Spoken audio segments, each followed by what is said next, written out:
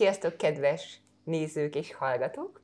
Én Budafoki Mire vagyok, ennek az adásnak a vendég műsorvezetője, ha lehet így mondani, és ezúttal egy nagyon különleges alkalom lesz, hiszen Xénit fogom a művészeti tevékenységeiről kérdezgetni, nem pedig ő fog más művészeket faggatni.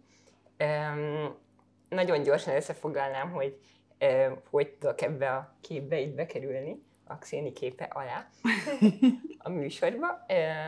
Én is művészettel foglalkozom, nem vizuális művészetekkel, hanem írással, főképp uh, újságírással és regényírással, és életünknek egy bizonyos szakaszába a művészeti tevékenységünk színivel nagyon szorosan összefonódtak, hiszen együtt is laktunk, és nagy inspirációs források voltunk egymás számára, és azóta is egyébként mindig, mindig egymásra csekkolunk, hogy ki hol tart, mit csinál, segítjük egymást most a készülő új könyvemnek, remélhetőleg színi egyik alkotása lesz majd a borítója, úgyhogy valahogy mindig összefonódnak a, a művészeti tevékenységeink, és ezért úgy gondoltuk, hogy ez most egy remek alkalom lesz itt Rómában, hogy, hogy én kérdezem Szénit arról, hogy ő hol jár, mi az, ami most fontos neki, hol van pontosan a fókusz, és hogy egyáltalán mi történik a te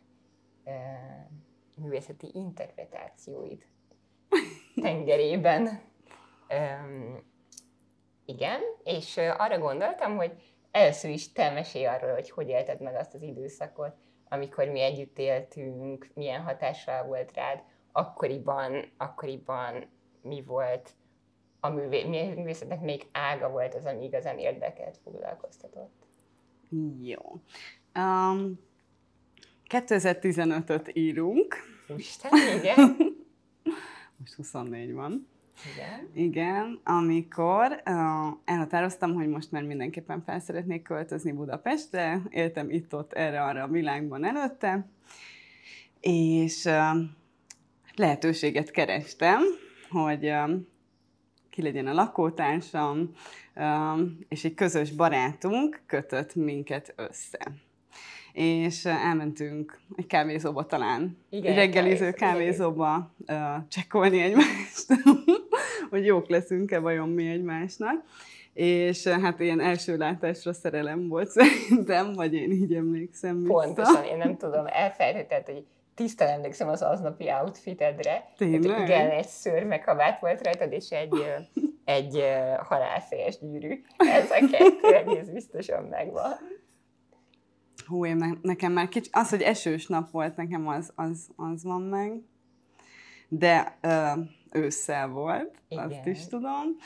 És hát akkor mire addigra már talált is egy megfelelő létesítményt a költözéshez, mégpedig a Király utcában. És és végül egy jó nagy lakásban beköltöztünk hárman, volt egy harmadik, egy fiatal ember család személyében, és akkor mi így alkottunk egy új mini családot. Igen. Akkor aztán teljesen egy ilyen szürreális kis barlang alakult ki a mi otthonunkba tényleg, mert ez egyébként egy ilyen tipikus belső udvaros, nagy belmagasságú, kicsit Hatalmas. sötét, de közben mégis tágas, tehát volt benne egy ilyen egy ilyen paradoxon ellentmondás, és akkor oda mindig jöttek a barátok, akik mindig valamilyen fajta művészettel foglalkoztak. Igen. Színészek, költők, tehát folyamatosan... Zenészek, opera énekesek. Igen, 0-24-ben a konyha az egy ilyen alkotótér volt tulajdonképpen. Abszolút, igen. Alkotó és bulizó mm-hmm. és főzős igen. Uh, hely. Igen, és um, abban az időben, vagy abban az évben történt az, hogy végre megvalósítottam azt a műalkotást, ami a mai napig kísér.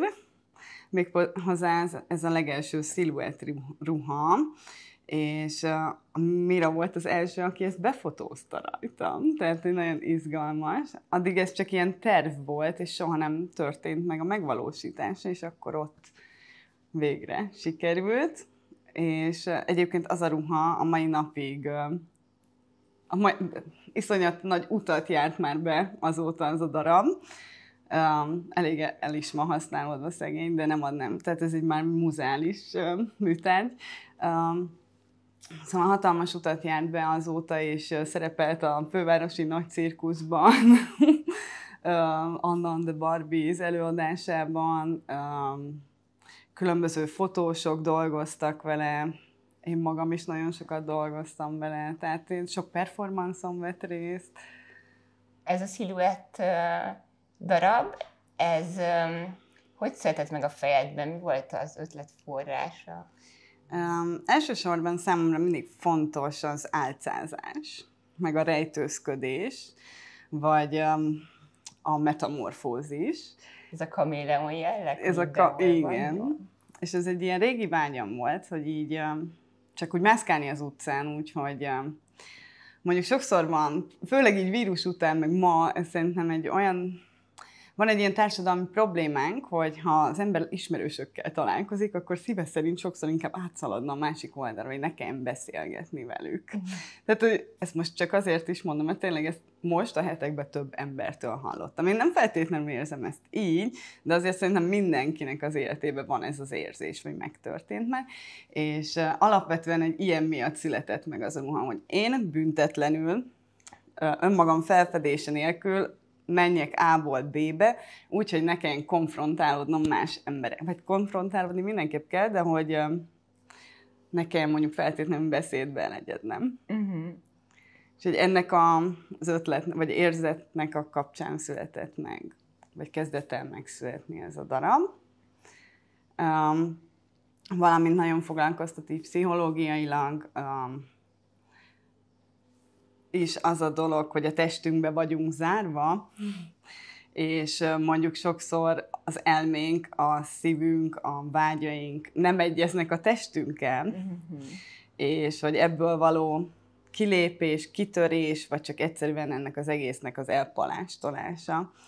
Um, igen, tehát ez lett a szobor identitás, test reprezentáció. Nagyon, nagyon érdekes, amit mondasz, mert egyébként pont most olvasok egy pszichológiai könyvet, egy Kanadában élő magyar pszichológus orvosnak az írása, és pont a repülőn, hogy jöttünk haza a mostani amerikai útunkból, akkor, akkor pont erről szólt az a fejezet, hogy egyébként mondjuk amikor valaki sokat iszik, vagy bármilyen fajta szert szed, akkor nagyon sokszor ez egy ilyen, ez egy ilyen motiváció, ez az oka, ami miatt, ami miatt mondjuk impulzus vásárlunk, vagy bármi olyan dolgot teszünk, amit nem tudunk kontrollálni, vagy a kontrollunkon kívül esik, hogy egyszerűen szeretnénk lezsibbasztani a testet, ami úgymond bebörtönöz minket. Igen, egy picit kiléphessünk. Uh-huh.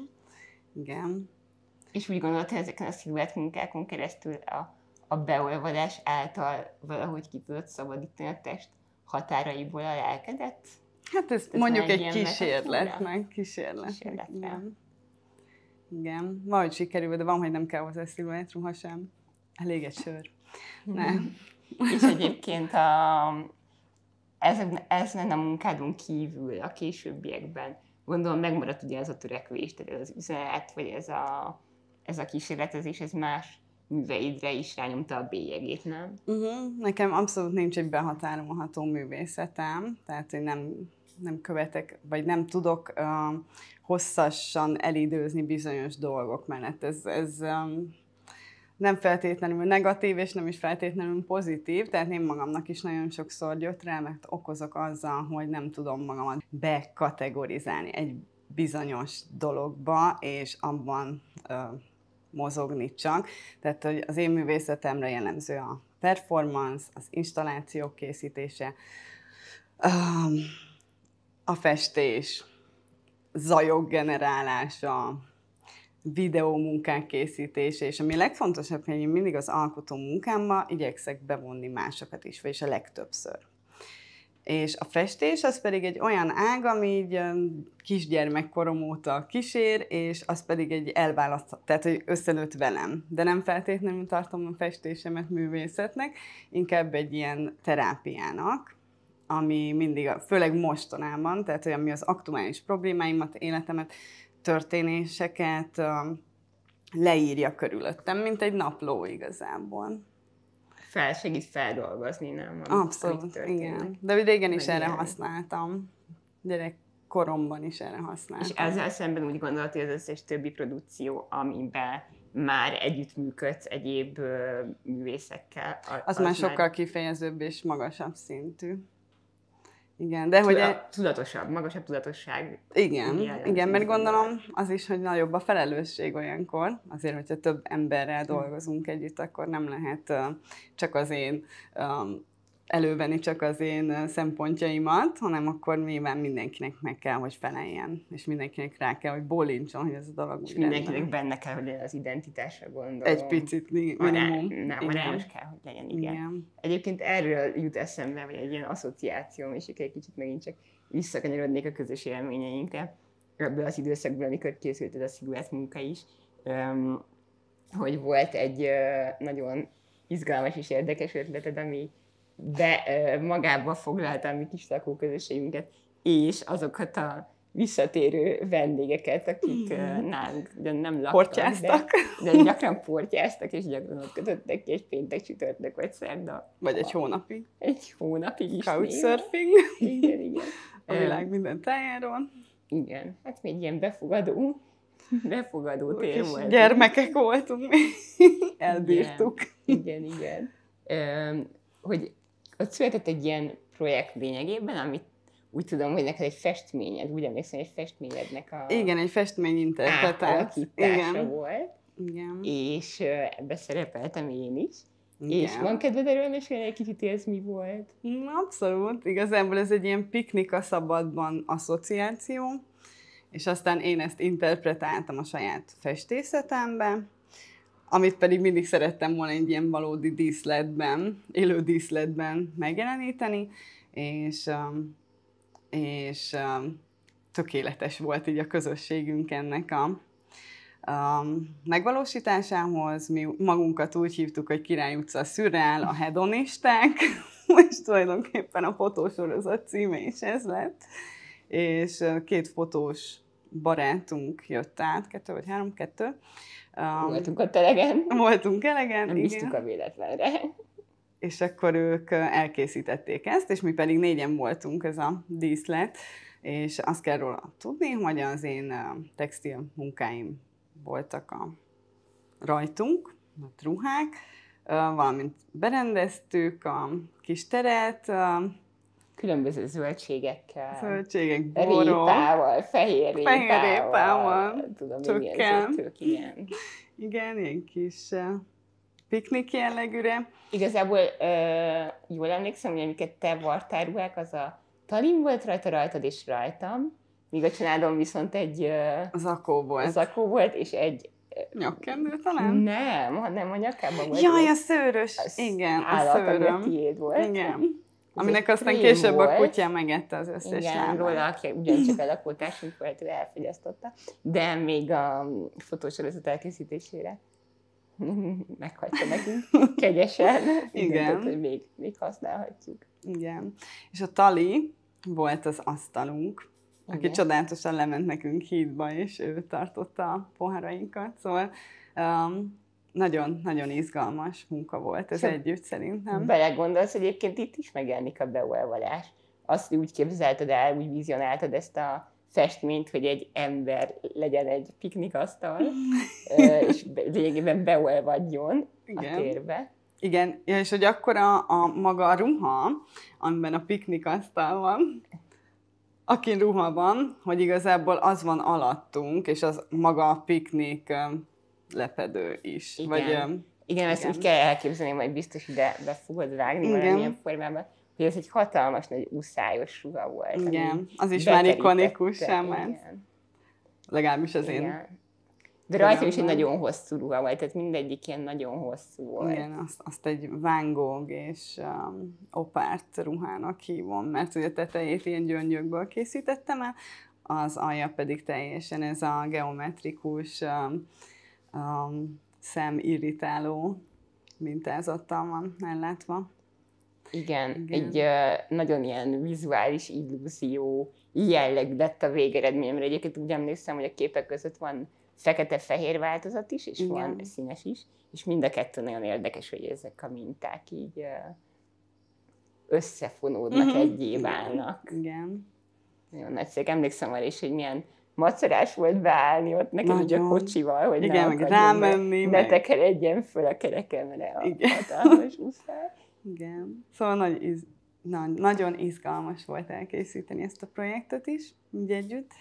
És uh, én ezután, uh, és én eközben pedig uh, elkezdtem rajziskolákba járni, mert egyébként a képzőművészeti egyetemre készültem akkoriban, és hogy biztos legyen a felvételi, én kiártam közben három ilyen magán alternatív rajzsulit, és rákövetkezendő évben pedig felvételiztem ugye a Képzőművészeti Egyetemre, és fel is vettek a festőművész szakra, és Filip Csaba lett a mesterem, és aztán ott kezdődött az igazán szűrel nekem a, az egyetemen, hogy mindenféle kísérletbe belebonyolódtam, aprótól kezdve a, a nagyobb léptékű dolgokig.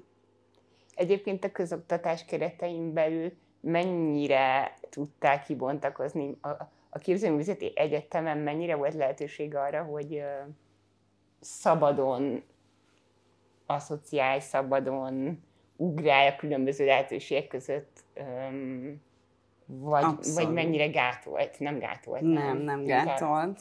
Nem gátolt, még hogyha gátolt van, akkor is ellenálltam, úgyhogy tehát sok veszekedésem volt mondjuk a mesteremmel, vagy vitám, uh, amik uh, így visszagondolva lehet, hogy akkor bántóak voltak számomra mondjuk, de abszolút um, pozitív erővel bírtak, valamint építő jellegűek voltak, valamint tényleg az ott folytatott tanulmányaim, amik um, tehát vagy akár az, az esztétika, mint művészetelmélet, a, a, a művészet történet, az anatómia, a térérzékelés, ezek nagyon-nagyon sokat tesznek hozzá. Szerintem egy művész életéhez, hogyha nem csak prest, presztis kérdésből járok, a, vagy jár az ember a képzőművészeti egyetemre, hanem azért, hogy tényleg tágítsa a látókörét, valamint ugye befogadó képességét a világ felé szerintem és hogyha már a világ felé fogadunk be, akkor érdemes megemlíteni azt az időszakot is, amikor az egyetemnek köszönhetően kijutottál Erasmusszal Olaszországba,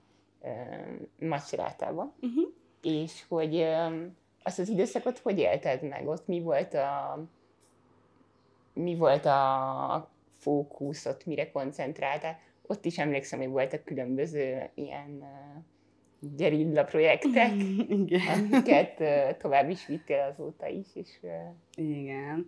Um, hát egy picit problémás volt ez a macserátai lét, mivel hogy akkor tombolt a Covid 2020-2021.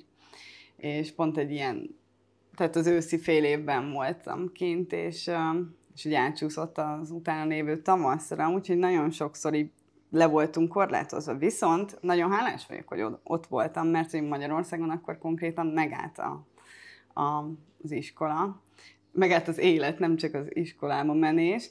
Viszont az olaszok kitalálták, hogy vetésforgóba járjunk iskolába, és akkor mondjuk egyik héten X osztály, három osztály lehetett az egyetemen, a következő héten ők nem jöhettek, és akkor így próbálták megelőzni azt, hogy nagyon kevés ember legyen, és ezzel minimálisra csökkenteni a, a megbetegedések számát, de ettől függetlenül az elő, elősz, na, egy párszor előfordult az, hogy az egész várost lezárták, hogy nem volt nyitva semmi, mm. hogy nem lehetett elhagyni a kerületet, vagy ilyen utcarészeket, és ezért ez nyilván problémákba torkolott. De hogy én ott szobrászatot vettem fel, tehát nem mm. festészetet, és, és így megismerkedtem a, a faragás a márványfaragással, a mészkőfaragással, inkább ilyen manuálisabb szobrászati technikákkal, vagy a hagyományossal, és nyilván azért is fontos, mert az olaszok iszonyat nagy ilyen kulturális örökséggel rendelkeznek ezek a dolgok iránt, vagy ezen dolgok iránt is, és um, valamint még a műgyanta öntéssel kísérleteztem, úgyhogy igen, és több kiállítás is született aztán ebben. Ott is, meg itthon is. Um, és ott uh, is csináltál egy utcai Ja, igen, a performance. performance. Igen, igen, igen. Ugye um, én is, én magam is hontalan voltam, meg ugye már nem, nem először indultam akkor neki így a világnak, és hogy attól függetlenül így külföldiként egy másik országban mindig van az embernek egy ilyen hontalan érzése, vagy bevándorló érzése, vagy... Gyökértelenség. Igen. És ezt akartam megjeleníteni. Egy, ugye a hajléktalanság az mindenhol elég nagy probléma világszerte, és ha hontalanság, hajléktalanság, ez picit megpróbáltam ezeket így összegyúrni, és készítettem egy tükörmaszkot, és ugye a vírus is benne volt ebbe az egész üzenetben, hogy egy tükörmaszkot készítettem, ami pont passzolt az én arcomra, és igazából a járókelők, akik jöttek, ők a saját arcukat látották az arcomba. És az olaszoknál ők mindig sokkal ilyen szociálisabbak egymással, vagy legalábbis voltak akkor még. Most Könnyebben már... lépnek interakcióba, még mindig jellemző, mert valóban úgy gondolom, hogy változott egy kicsit az utóbbi időben. De hogy igen, nincs ez a fajta megriadság attól, hogy igen, elfordítják egymást. kérdést igen. intéz, vagy, vagy tényleg ami eszedbe jut, hogy, hogy felkelti az érdeklődésedet, azt, azt kifejezd. Igen. Mert hogy otthon olyan, mint hogyha az érdeklődés meg lenne, de így beragadna sokszor, uh-huh. és akkor így csak Igen. egy távolságot Igen. képez. És akkor tehát volt mindenhova kír, vagy Andra tudtó benne, és hogy minden jobb lesz, és hogy így higgyünk, és reméljünk, és higgyük el, hogy, hogy így egyszer vége lesz, és kijövünk ebből az áldatlan állapotból. És nekem ez nagyon tetszett, vagy nagyon emocionálisnak tartom, vagy éltem meg, és, és valamint vittem egy ilyen kis, tehát hogy tényleg ilyen hajléktalan sztályba nyomtam ezt a performanszot, hogy dobozokra, összehajtogatott dobozokra ültem le, rajtam volt ez a maszk egy teljesen semleges ruhával, Lola is, a kutyám is ott volt velem, és akkor én csináltam ilyen kis pénztartó dobozt is, amire azt írtam, hogy Andrea tudta benne, valamint az egyik kartonomra azt írtam, hogy Oggio, Oggio, Madomani, és akkor először egyébként nem értették ezt az emberek, és a, tehát ugye ez a kérdés, hogy... Uh, azt jelenti, ma én vagyok, de holnap. De holnap és hogy ugye bárki kerülhet ebbe a kiszorított, uh, otthonról eltávolodott, um, um, kisé unkomfortos vagy diszkomfortos helyzetbe, um, és bármikor hozhatja ezt az élet, és, és nem lehet rá felkészülni, és bármikor kerülhetsz oda, akár az utcára hajléktalanként. És ez volt a felvetése az egésznek, és az emberek először nem feltétlenül értették, hogy most mit kéne itt velem kezdeni, és aztán pedig így elkezdtek nézegetni, és elkezdte, elkezdték megérteni, és így örültek, meg megtapsoltak, meg iszonyat sok pénzt adtam. Nagyon kevés időn belül. Úgyhogy egyébként ezt még terveztem utána a világ más pontjain is megcsinálni, de aztán még nem került rá sor. Van bennem egy azért is, mert nem szeretem ismételni a performance-aimat, egyébként szerintem még soha nem volt kétszer ugyanaz. Kettő az, hogy valamiért még nem jött meg a második nem, felvonás. Most, most nem ennek a itt. Igen. Most másnak a itt. De azért most is beköltözteted a gondolataidat is a, a művészetedet az utcákra, akire mostani utazásunk során is találtál egy alkalmat, de egy teljesen más megvilágítás volt, teljesen más csatornán keresztül, más eszközöket használván, de ugyanúgy ki tudtad rakni a, a nagyvárosi pulzáló terekbe a, a művészetedet, és ez, erről van kedved mesélni egy kicsit? Uh-huh. Uh... Bár ugyan azt hiszem, hogy már megemlítettük a... Nem említettük? Nem. Na, hát akkor most. Igen. tényleg. Igen, igen. Ezt teljesen el, elhagytuk az előzőből. Igen. Most, hogy Amerikában jártunk, uh, New Yorkban, méghozzá Bostonban, Brooklynban, New Yorkban. Uh, a cél az volt, hogy én vittem pár első nyomatot öt darab festményemről, amit különböző pontjain hagytam el a városnak. Szerintem a legérdekesebb nyilván a múzeumok voltak, a Guggenheim Múzeumban, a Medbe és a Momába hagytam el. Különböző pontokon egy-egy kis printet, ami be is volt keretezve, és hozzá társítottam, hogy vigyél haza, tehát ugye látogatóknak, hogyha ez egy, nyilván nem mer hozzányúlni első körben, mert azt hiszi, hogy a múzeum része vagy műtárgy, tehát az a Guggenheim múzeumban volt nagyon izgi, hogy így ott voltunk először, és oda raktam le először, hogy um, Hát ilyen gerilla módon kiállítottam magam konkrétan. Igen, ott nagyon nagy szerencsénk volt, mert egyébként szerintem lehet, hogy pont egy ilyen köztes időszakban kaptuk el a Guggenheimet, mert nekem az volt a benyomásom, hogy nagyon sok üres tér volt, mint hogyha ott éppen de, és láttam is, hogy volt olyan, ki volt rakva még valami festménynek a címe, és akkor ott már nem volt semmi. Uh-huh. Szóval gondolom, hogy éppen átrendezés alatt volt. Igen, Ezért szóval az egyik ilyen kis teremben. És nagyon érdekes volt, hogy leraktam, és a látogatók ugye nem tudták, hogy most akkor ezzel hogyan, ki... tehát hogy ez a része a múzeumnak, vagy a kiállításnak, az aktuális kiállításnak, avagy sem, de hogy itt többen elkezdtek oda menni. E, egészen oda tehát itt sok ember és gyorsan és dinamikusan Igen, úgyhogy volt egy ilyen momentum, amikor így elkezdték rendesen nézegetni, hogy ez egy ilyen felemelő, meg ilyen izgalmas érzés is volt egyben. De szóval az a lényeg, hogy igazából egy picit így szét akartam szórni a világban.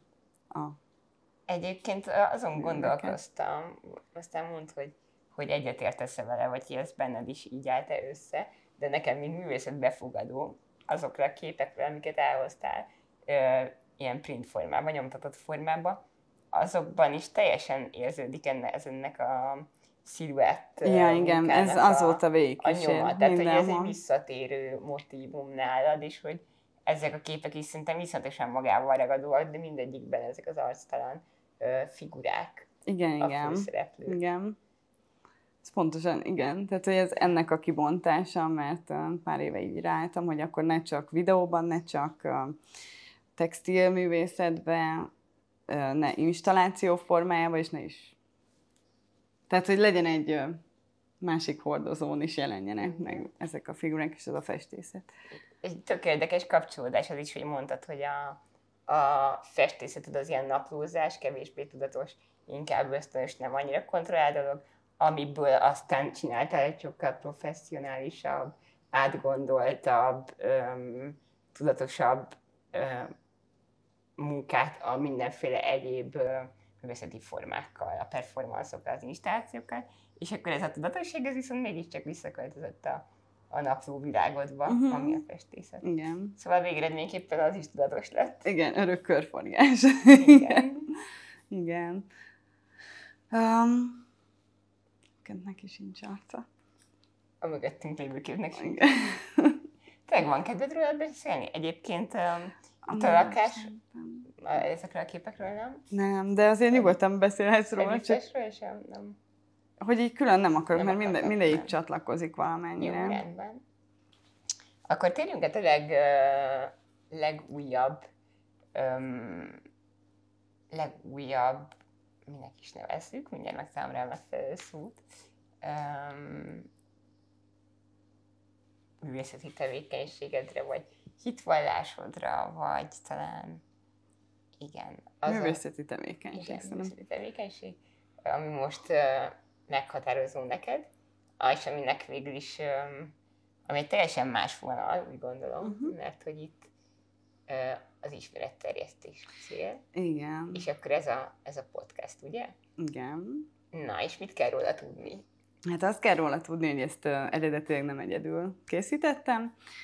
Egy majd két évig egy társművésszel csináltunk egy közös művészeti podcastot, ez volt az első művészeti podcast itt Magyarországon, és, um, és bizonyos okok miatt szétváltunk, és akkor külön-külön folytatjuk tovább, és ez január közepe óta történik, hogy már egyedül csinálom, nyilván őrült nagy munka, és uh, annyiban változott a jellege, hogy én uh, így bővítettem többféle aspektussal, mint például um, irodalmi képviselőkkel, um, tehát zenei ágakat. Végül is Bérces Irobi például írt könyvet is. Igen, igen. Um, tehát Zenészekkel. zenészekkel, uh, irodalmárokkal, um, táncművészekkel. Szóval egy picit így szélesíteném ezt a skálát, mert szerintem a művészetet nem foglalhatja el csak a képzőművészet fogalma és valamint ilyen alapvető kulturális ismeretterjesztőnek is szánom, valamint számomra, ami, ami igazán fontos ebben, az, hogy, hogy egy, a korról készítsünk egy képet, hogy dokumentáljuk azt, hogy mi ma létezünk, vagyunk, és, és hogy mondjuk mennyire izgalmas lesz szerintem ezt visszanézni x idő múlva. 10, 20, 30, 40, 100, amikor mi már nem leszünk mondjuk. És hogy, hogy ezért szeretnék így társművészeket is, meg az összes fajta uh, művészeti raszból be, kiemelni és bemutatni. A dokumentálás a célom, igen. Egy archívium tulajdonképpen. Abszolút, igen. Ez, igen. ez uh, nagyon fontos szerintem, hogy hogy tényleg nyomot hagyjunk, és hogy nyomot hagyjunk, és ez meg legyen, meg legyen örökítve. Készben, ha már ma ne ennyire. csak úgy, hogy majd egyszer csak azt fogják látni, hogy ott van a, a kép, hanem hogy tudják, hogy a mögött mi annak a, az adott festőnek a gondolata, vagy ne csak azt, hogy ott van ez a zene, ez a szám, hanem az, hogy akkor ott éppen mi zajlott be az adott, adott zenészben, mi volt az ő mondani valója, hol tartott az ő élete. Igen. És szerintem ez egy izgalmas lehetőség, és egyébként teljes mértékben ráfügtem én most erre az utol, utóbbi időben, hogy így se éjjelem, se nappalom nincs a podcast gondolata, vágása, szerkesztése, menedzselése, beszél le, művészekkel való tárgyalás, son kívül, tehát hogy tényleg um, ilyen nagyon-nagyon um, elkezdtem függni magától ettől a dologtól. Tehát, hogy tényleg élvezettel is csinálom, valamint most már nem csak én hívok meg vendégeket, hanem elkezdtek a művészek önmaguktól bejelentkezni, és ez nagyon nagy boldogság nekem. Igen, ez egy elég fontos visszajelzés. Igen. Úgyhogy igazából így dióhéjban ennyi, meg a teljesség igénye nélkül. Ez csak így tovább, a podcasttel is, és Köszönöm. minden egyéb platformon. Köszönöm szépen, hogy vállaltad ezt az interjúztatást. Szuper volt. Egy nosztalgia vonat. Igen. Köszönjük, hogy meghallgattatok minket, és hogy figyelemmel kísértétek ezt az epizódot is, és folytassátok csak így tovább. Fogyasszátok a művészetet. Sziasztok! Sziasztok!